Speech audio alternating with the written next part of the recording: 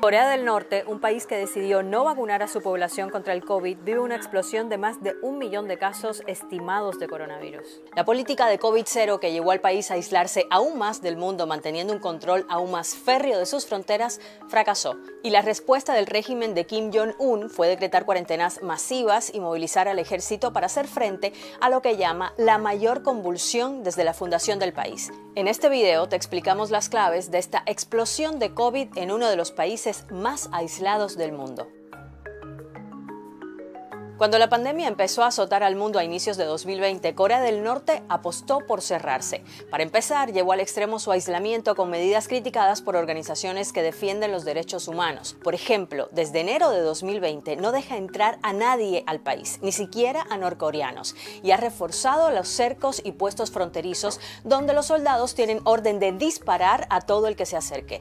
También almacena y desinfecta durante semanas todos los productos importados de China para asegurar que no tengan ni la más mínima traza del virus.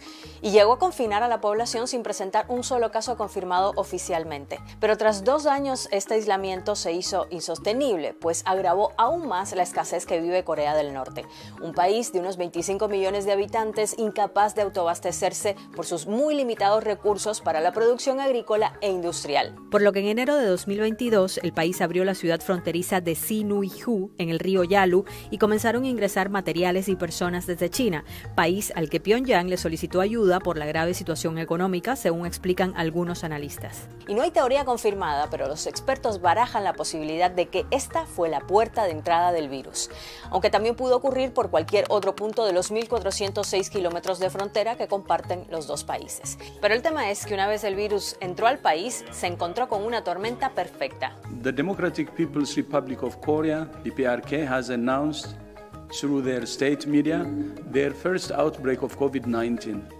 with more than 1.4 million suspected cases since late April.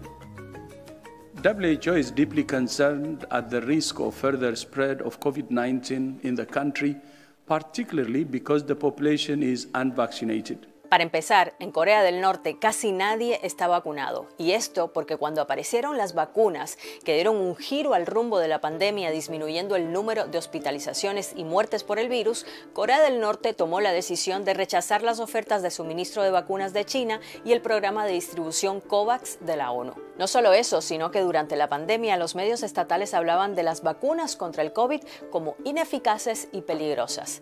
Alistair Coleman, experto de la BBC en desinformación de Corea del Norte, dice que no está claro el porqué de este rechazo. Algunas fuentes, dice, creen que espera vacunas más efectivas, mientras que otros piensan que las vacunas extranjeras vienen con condiciones que son inaceptables para Pyongyang. E incluso hay quienes encuentran una explicación a este rechazo en la cultura coreana que enfatiza la autosuficiencia y donde pedir ayuda es mal visto. Sea cual sea la razón, el tema es que el virus se encontró a una población sin inmunizar. Y a esto se sumó las grandes aglomeraciones que hubo el 15 y 25 de abril en Pyongyang para celebrar dos días patrios norcoreanos a los que se convocó a grandes multitudes.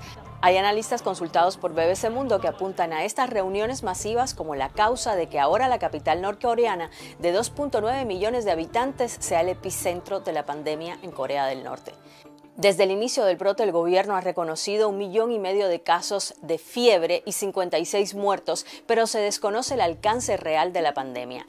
Y esto en un país con graves carencias de suministros médicos y equipos esenciales para lidiar con el coronavirus y donde además el gobierno tiene el control absoluto de la información. Según Jeon Baek, fundadora de Lumen, una ONG que monitorea a Corea del Norte, el país tiene un sistema de salud decrépito y fuera de la capital, la mayor parte del país tiene acceso a atención de muy mala calidad.